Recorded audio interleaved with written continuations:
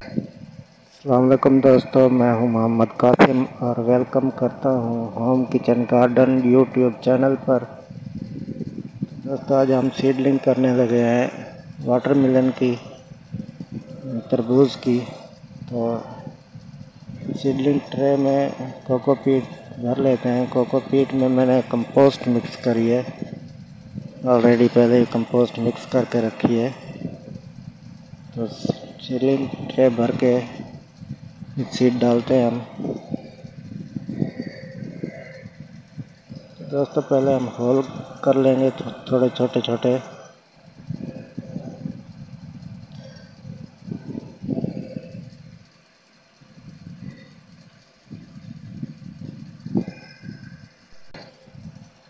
दोस्तों होल करने के बाद हम एक एक करके सीट डालेंगे।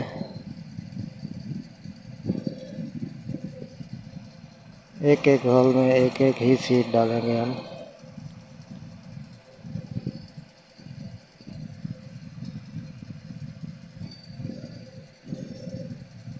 जितने भी सीड हैं, हम सब डाल देंगे एक एक हॉल में एक एक सीड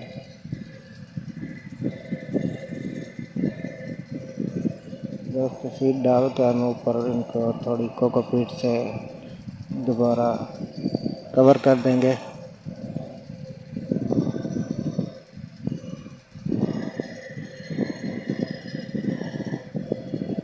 और ये वीडियो इंशाल्लाह दोस्तों आपको कंप्लीट वीडियो दिखाऊँगा और ये मेरा पहला एक्सपीरियंस है। वाटर मिलन पहले नहीं लगाया, पहली दफ़ा लगा रहा हूँ। तो जो भी रिज़ल्ट हुआ इंशाल्लाह आपके साथ शेयर करूँगा। दोस्तों, हमने सीड्स कवर कर लिए हैं, पानी डालते हैं और सही से पानी डाल देंगे, सही पूरी मॉइस हो जाए, सब हॉल में जो कोको पीट है, सब मॉइस हो जाए, कोई भी हॉल रह ना जाए, अच्छे तरीके से पानी दे देंगे।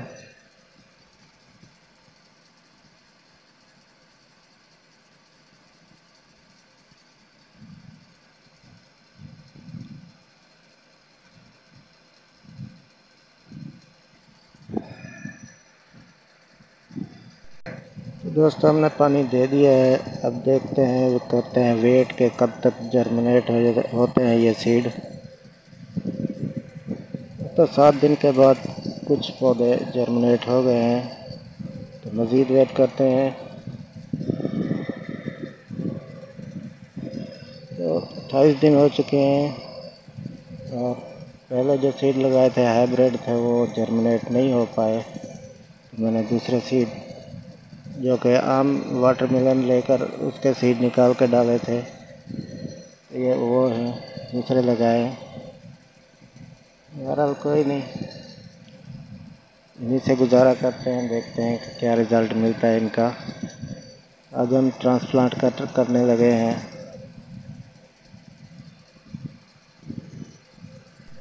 दोस्तों ट्रांसप्लांटिंग के लिए मैंने चार गमले लिए हैं, जो कि बारह इंच के हैं और दो टोकरियों में लगाऊँगा मैं। ट्रांसप्लांट करते हैं।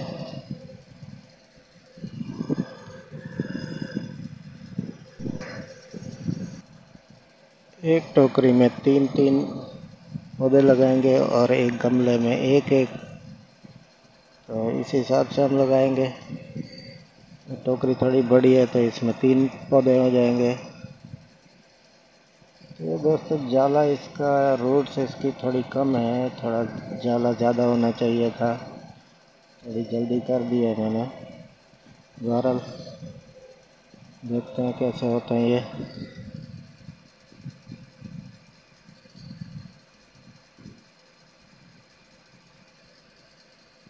ये दोस्तों, मैंने ट्रांसप्लांट कर दिए हैं। और अब इनको पानी डालते हैं इनमें।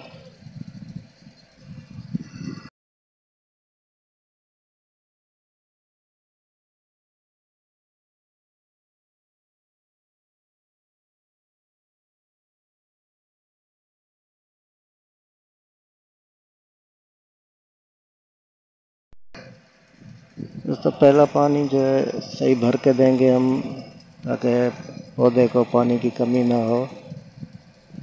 खुश्क मिट्टी में जा रहा है तो पानी की कमी हो सकती है, पौधा मर सकता है। भर के पानी दे देंगे हम।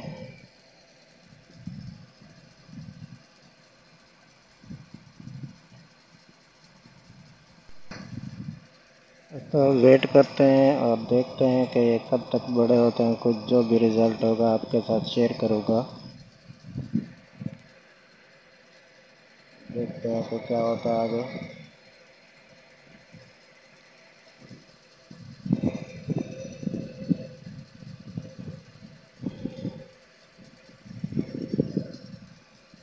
दोस्तों सीड लगाए हुए आज पैंतालीस दिन हो गए हैं और जैन की शक्ल अख्तियार कर रहे हैं प्लांट्स बहुत स्लो ग्रोथ है इनकी अभी तो। अभी अब तो बहुत स्लो चल रहे है। बहरहाल वेट करेंगे, देखेंगे कि आगे क्या रिज़ल्ट मिलता है हमें।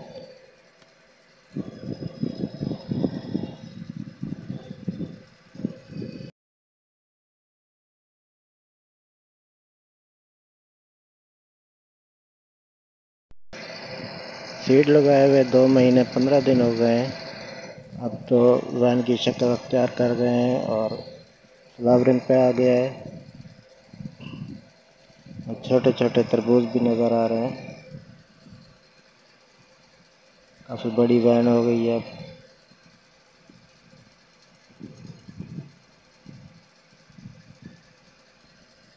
फ्लावरिंग है ये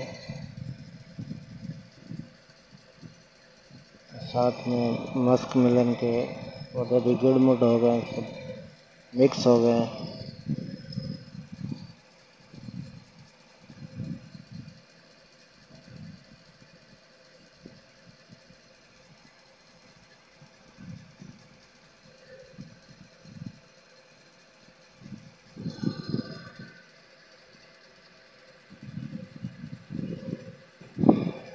ये देखें दोस्तों, ये फ्रूट लग रहा है छोटा छोटा अभी।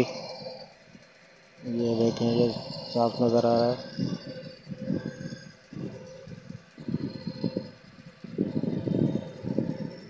फ्रूटिंग शुरू हो गई है, फ्लावरिंग भी भर के हो रही है।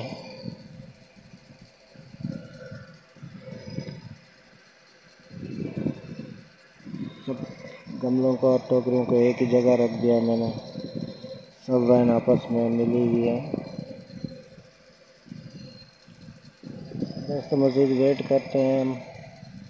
कि बड़े होते हैं और कब, कितने टाइम लगता है इनको?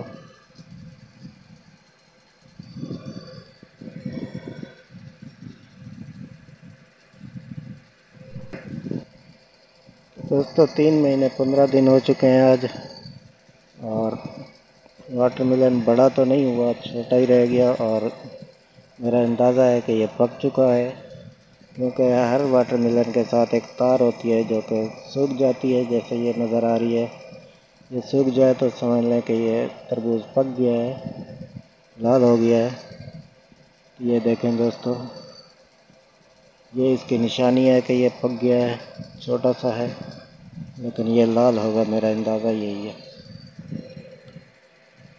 तो दोस्तों, इसको तोड़ के हम देखते हैं कि अंदाज़ा सही है या नहीं। इसको काट के देखते हैं।